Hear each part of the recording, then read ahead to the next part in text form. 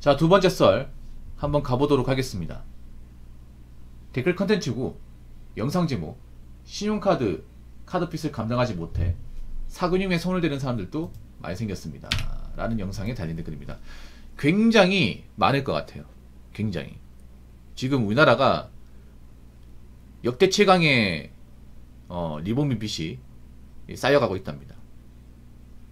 예, 리볼빙. 그러니까 카드 빚을 감당하지 못해서 이 빚이 계속 쌓여나가고 있는 거예요. 근데 어디서 카드 빚이 생겼을까? 예, 카드 빚이란 게 그런 거죠, 여러분.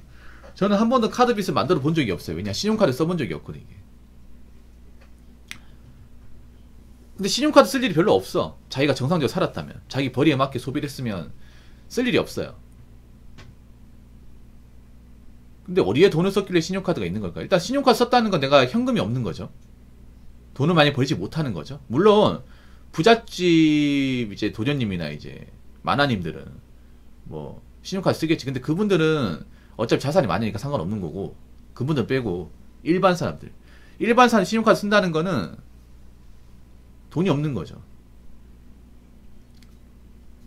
돈과 능력이 같이 없는 거죠. 그러니까 신용카드 쓰는 거 아니야. 그렇지 않습니까? 그, 그러니까 뭐냐 하면 내가 가진 돈도 없고 벌이도 안 좋은데 뭔가 사고 싶은 게 있으니까 신용카드 쓰는 거잖아. 그래서 없는 사람이 신용카드 쓴다는 것 자체가 좀 말이 안 돼요. 누구는 이렇게 얘기할 수 있어. 아니 살다 보면 사정 있으면 좀 쓸 수도 있는 거 아니겠습니까?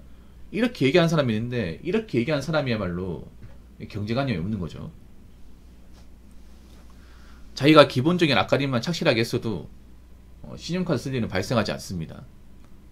뭔가 신용카드 쓴다는 것을 합리화시키는 사람도 있는데 제 방송에 오기만 해보세요. 제가 팩폭으로 찍어 누를 겁니다. 아무튼 그러니까 신용카드 쓰는 사람들이 많아요. 아마도 신용카드는 아마 남자분도 쓰겠지만 여성분들이 좀 많이 쓸 것 같아요. 여성분들이. 그러니까 신용카드 리볼빙이 왜 생기냐면 그런 거예요. 신용카드 대금을 제때 갚지 못해서 자꾸 이월시키는 겁니다. 이 어떤 걸 설명을 드릴게요. 뭐냐면 A란 여자가 있습니다. A란 여자가 20대인데 음, 직장인인데 월급이 한 200만 원전이야. 근데 샤넬백을 사고 싶어. 백화점이 딱 지나가는데 너무 예뻐. 근데 그게 한 300만 하네. 근데 200만 원까지 못 사잖아요. 그래서 카드를 질렀어요. 신용카드.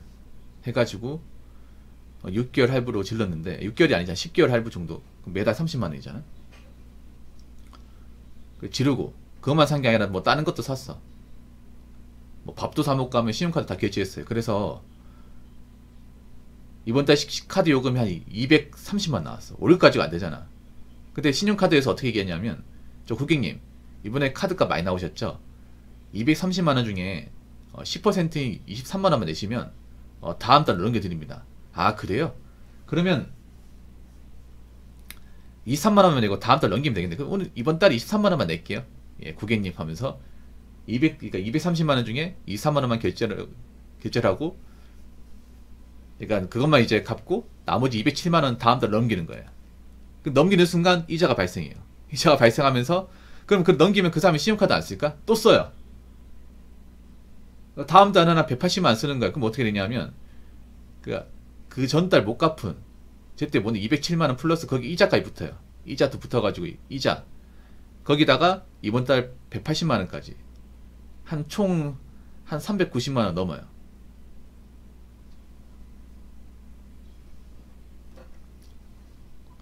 근데 못 갚을 거 아니야. 생각해봐. 230만 원도 제때 못 냈는데 390만 원 어떻게 내요? 그럼 어떻게 돼요? 못 갚잖아. 근데 카드사에서 얘기하는 거죠. 고객님, 이번 달 카드값 많이 나왔죠? 그러면 다 내지 마시고 한 40만 원만 내세요. 아, 그러면 되겠네요. 40만 원 낼게 해가지고 390만 원 중에 40만 원 내고 350만 원은 또 다음 달 넘기는 거예요. 그러고 나서 또 카드를 쓰는 거야. 계속, 계속 쌓이는 거야, 이게.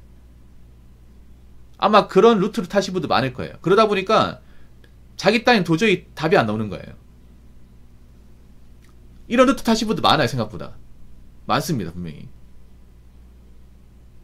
그러다가 너무 커지잖아. 감당 안 되잖아. 그럼 어떻게 하냐. 사금융, 사채를 쓰는 겁니다. 왜냐면 이런 사람들은 은행에서 대출 안 해주거든요. 신용도가 낮기 때문에. 애초에 은행에 돈이 없어. 은행에 돈이 없으니까 신용카드 쓰는 거잖아. 생각, 상식적으로 생각해보세요. 은행에 돈이 있으면 그 현금을 쓰지 왜 신용카드 씁니까?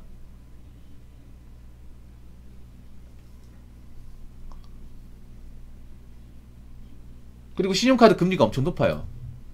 신용카드 금리가 모텔이 15.9%인데 텐데. 예, 15% 넘습니다. 저 농협카드가 신용카드 금리가 15.5%예요. 어. 15% 밑으로 없어. 그러니까 애초에 신용카드 쓰는 것 자체가 좀 나사가 빠진 거죠. 맞잖아요. 마통보다 금리가 더 높아. 차라리 마통이 나올 수 있습니다. 이게. 그럼 사균형에 손을 대잖아요. 그럼 사균형 금리가 더 높겠지, 맞잖아요. 사균형은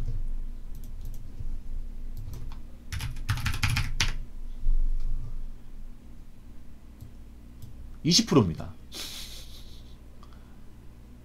예, 법정 최고 금리가 20%예요. 근데 이것보다 더 받을 거야 아마. 예. 사근용까지 손을 대면 갚을 수 있을까? 이게 말이 갚는 거지만 그런 거야. 그냥 어물쩡 떼우는 거야. 어물쩡. 그러니까 이렇게 되면 카드 빚도 못 갚고 사근용도 못 갚아요. 그럼 사근용 못 갚으면 사근용 이 빌려준 사람들은 가만히 있을까? 가만히 있을 거 아니죠. 그 내 돈 떼먹은 사람 누구누구 안 나옵니까? 저 나올 때까지 있을 겁니다. 옛날처럼 그 사채업자들이 막 폭력수가 하지 않습니다. 잡혀가거든요. 지금은 신사적으로 변했지. 근데 이 사근육에 있는 사람들은 어떻게 받아내요? 어떻게 하냐면 그냥 직장에 뻗치고 있는 거야. 아니면 직장에 가가지고 저기 누구누구니 계십니까? 갑자기 왜 찾으시죠? 아 이분이 저한테 얼마를 빌려갔는데 돈을 안 갚네요. 자꾸 전화를 피하니까 저도 본의 아니게 사무실을 찾아오게 되었습니다. 이렇게 해봐. 그럼 회사 다닐 수 있겠냐고. 난감하게 하는 거예요. 어, 자꾸 그렇게 피하시면 어떡합니까? 아니, 돈을 빌려갔으면 갚으셔야죠. 갚겠다고 한 날짜가 이미 지났습니다. 아, 저는 어떻게 먹고 삽니까? 제 돈인데. 이렇게 하면 안 갚을 수가 없어요, 여러분.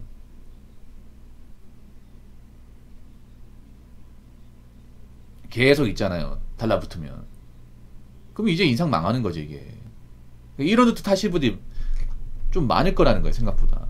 지금 우리나라가 리볼빙이 빚이 계속 쌓이고 있는 겁니다. 그 말은 뭐냐 하면 카드를 써놓고 이 카드 대금을 제대로 갚지 못한 사람 많이 생긴 거야. 그러니까 여러 가지가 있을 겁니다. 남자들은 아마 그 영끌 하면서 영끌이나 아니면 이제 비투 같은 거 하면서 아마 카드는 받았을 거야. 여자분들은 아마 현금 서비스나 아니면 이제 명품 구입하면서 저 카드를 질렀을 거예요. 네. 아마 그분들 중에 좀 인생이 고달픈 분도 많을 겁니다. 자, 댓글 한번 읽어보도록 하겠습니다. 요즘 리볼빙하는 여성분들이 많습니다. KB카드, NH카드 등 은행 이름이 같다고 해서 1위 금융권이라고 생각할 수 있지만 2위 금융권이니 이자가 청년입니다. 좀 많을 것 같아요. 여자분들이. 왜냐하면 왜 많을 수밖에 없냐면 생각해봐. 여자분들이 그 젊은 분들이 가방이 돈이 어디서 났길래 그렇게 사고 댕기는 겁니까? 돈이 어디서 나오길래 맞잖아요.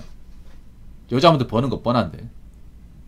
그리고 그렇게 일도 제대로 안 하는데 도대체 해외여행 비용 어디서 충당을 할까? 그 생각 안 합니까, 여러분? 그리고 그런 것도 있어요. 뭐냐면 뭐 남자도 그렇겠지만 여자분들 중에 이제 직장을 다니면서 돈을 안 모으다가 직장을 그만뒀어. 뭐 실업급을 연명했는데 실업급이 떨어지고 하는데 직장이 안 구해져. 생활을 해야 된단 말이야. 돈이 부족하잖아요. 그러면 이제 저는 신용카드 이제 뭐 카드는 한다든지 아니면 마통 뚫는다든지 그런 케이스도 있어요, 여러분. KB카드, NH카드 등 은행권 이름이 같다고 해서 1금융권. 어, 이러면 진짜 이건 미친 거죠, 여러분. 여러분 신용카드 회사하고 은행하고 완전 별개 아니야? 이거를 동의 취급하면 이 사람은 학교 다시 다녀야 돼. 설마 이런 사람 있다고? 어? 농협이 1금융권이라고 농협 카드도 1금융권 어? KB 국민은행이 1금융권이라고 KB 카드까지 1금융권 그냥 계열사입니다 계열사 아니 별개야 별개 은행하고 이 카드사는 별개입니다. 독립된 곳이에요, 독립된 곳.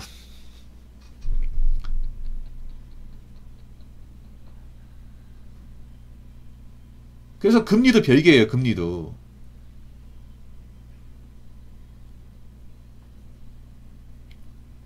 근데 요즘에 은행 가보면 좀 이런 거 부추기긴 해. 뭐냐면, 은행 가면 은행원들이 이런 카드 만들어라고 좀 영업을 많이 하거든요. 절대 만들면 안 됩니다. 은행도 좀 예전 같지 않은 게 은행원들이 자꾸 이제 실적에 목숨을 걸다 보니까 옛날처럼 뭐 예적금 같은 거는 뭐 제대로 안 알려주고 뭐 투자 상품 같은 거나 아니면 보험 상품 심지어는 카드 영업까지 합니다. 제가 그래서 요즘 뭐 은행을 별로 안 좋아해. 아무래도 그분들도 이제 살아남아야 되니까 좀 실적 압박을 받는단 말이에요. 이건 이건 다 받거든, 솔직히 말해서. 그래서 막 대도 안 한 거 있잖아요. 이런 카드 만들으라고 압박을 많이 줘요. 아니면 대출 같은 거 받으라고.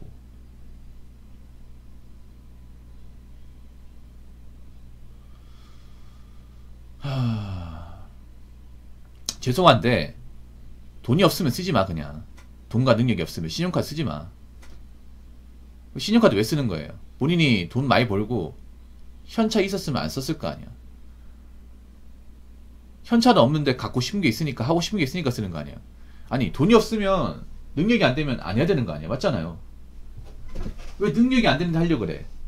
왜 조건이 안 되는데 왜 지르려고 합니까? 그러니까 인생이 망가지는 거 아니야. 분명히 제가 봤을 땐 앞으로 이거 터집니다. 이거 카드 리보밍 터집니다. 이거 지금 뭔가 쉬쉬하는 분위기인데 터져요. 이거 언젠간 터집니다. 이거 그러면 2003년 카드 대란 이후로 또 제2의 카드 대란 터지는 거야. 이것도 불안불안하거든요, 이것도. 왜냐하면 지금 젊은 사람들은 그 2003년 카드 대란을 모르는 사람들이 많아요. 그때 그 사건 때문에 가정 박살나고 인생 망가지고 그리고 좀 안 좋은 선택하신 분들이 많아요. 근데 이 사건이 터진 지가 21년 됐거든요. 정확히. 제2의 카드 대란 터질 것 같아. 그때보다 리볼빙이 더 많아요. 지금 리볼빙 하는 사람 중에 제대로 갚을 사람도 얼마나 있어? 없어요.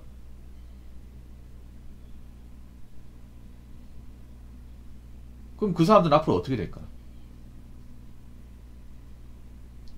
아마 대장의 신불자가 양산되겠죠. 대장의 신불자. 신불자 되면 이제 사회적으로 굉장히 좀 압박을 많이 받겠죠. 취업이나 아니면 뭐 살아가는데. 아무튼 제가 말씀드리고 싶은 거는 능력이 안 되면 돈이 없으면 하지 마세요 그냥. 뭐 사지도 마시고요. 그냥 카드 발급받지도 마세요 신용카드. 무슨 말인지 아시겠죠? 여자분 특히 뭐 신용카드 이쁘다고 절대 발급받지 마 그 신용카드 발급받는 거 하나 때문에 한번 손대잖아요 그러면 그냥 영원히 못 빠져나올 수 있습니다. 무슨 말인지 아시겠죠? 자, 이상으로 두 번째 썰 마치도록 하겠습니다.